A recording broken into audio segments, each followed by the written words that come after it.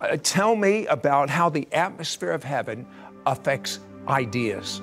Well, we were in Singapore several years ago, and I saw God releasing uh, packages upon people, giving gifts, and it, they were coming down as just little tiny presents upon people.